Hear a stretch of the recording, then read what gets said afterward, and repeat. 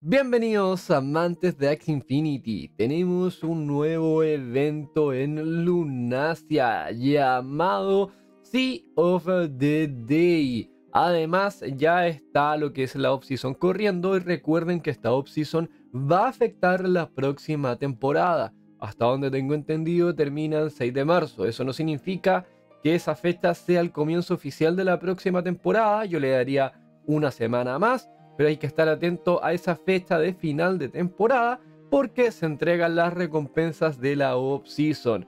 Y en la off-season, para los que no lo sabían, vamos a tener recompensas de runas raras, chan raros y un sticker terrible cool para lo que es la temporada 3. Tanto los chan raros como las runas raras, obviamente que van a afectar bastantes en lo que es esta primera era. Así que atentos para esta próxima temporada. Y ahora a lo que nos convoca el día de hoy, este nuevo evento, Sis the Day. Es el primer evento Aqua, si es que no me equivoco.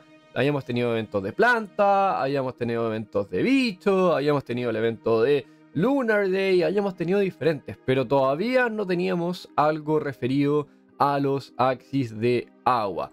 Las recompensas son Avatar, sticker y el borde para lo que es el, top 500, de hecho. Top 500 reciben el avatar, top 20 reciben el avatar y el, el avatar y el sticker, perdón, el top 500, top 20 el avatar, el borde y el sticker. Así que va a ser bastante raro lo que es ese borde. Recuerden que hasta ahora, tanto los avatares como los stickers, como los bordes, no son NFTs, así que no los pueden intercambiar en un mercado, si están pensando, oye, voy a tratar de sacar top 20 porque después lo puedo vender. No, ese no es el focus, netamente para los coleccionistas, los que les gusta demostrar que son unos vallenotes en estos eventos y liberan Axis pero por doquier y terminan obteniendo lo que es ese borde. El contenido de hoy y personalmente lo que yo voy a hacer va más enfocado en todo el resto de los humanos normales que queremos sacar este sticker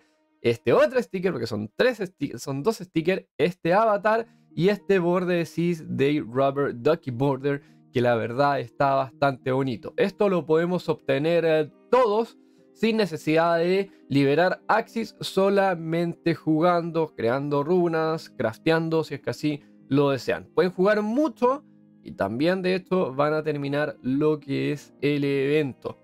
Así que atentos a obtener estos stickers a los que les gusta estarlo spameando en lo que es las batallas de Axie Infinity. A mí me interesa el borde y el avatar, la verdad, que es lo que más uso. Los stickers, personalmente, juego con stickers desactivados en el juego.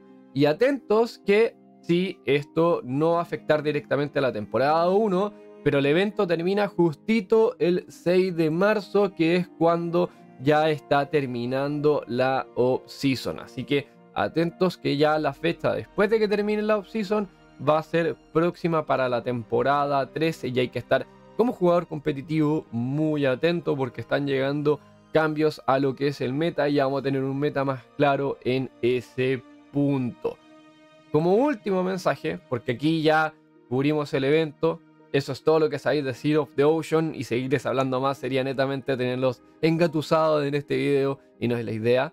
El próximo contenido que vamos a generar va a ser de Axis Homeland. Ya escucharon la musiquita atrás, tengo las tierras en nivel 4, tengo los Axis trabajando, así que voy a estar dando pequeños tips, pequeños videos para los que están jugando, dando tips dentro de lo que son las tierras y explicando para los que no tuvieron la oportunidad de estar en Axis Homeland en estos momentos. Yo no tengo tierra, yo spameé Twitter, spameé Discord, spameé todos los mensajes que vieron que estuvieron buscando Scholar. Incluso subí una foto con un asadón en el campo, poco menos diciendo que soy un granjero maravilloso en la vida real y que también lo voy a hacer en el mundo virtual. Así que me dieron la posibilidad de jugar con una tierra. Para el resto de las personas que también están buscando ser Scholar, les aconsejo que hagan lo mismo. Pregunten en Twitter, pregunten en Discord, háganse presentes antes de que empiecen las temporadas porque ya una vez comenzando la temporada se hace bastante difícil. De todas formas, si es que a futuro les gusta el juego de tierras, les gusta este estilo de juego, quieren estar compitiendo, les recomiendo estar preguntando de nuevo antes de que comiencen las temporadas y estar viendo todo el contenido de las tierras que puedan para aprender sobre ellas. Hay ciertos tips que te van a acelerar el proceso bastante que el resto de los jugadores. Que no los voy a dar ahora porque quiero hacer un video propiamente y enfocado en tierras.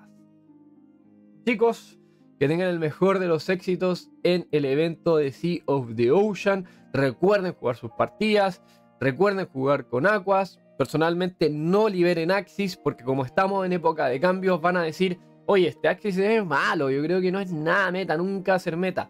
¡Boom! Llegan los cambios y ahora el Axis más extraño que podían encontrar se valorizó un millón y ahora lo quieren de vuelta. Así que de verdad, personalmente les aconsejo no liberar Axis, en especial en los eventos de off-season, porque no saben si esos van a cambiar y van a entrar a lo que es el meta. El mejor de los éxitos, chicos, en este evento y nos estamos viendo con más contenido de tierras.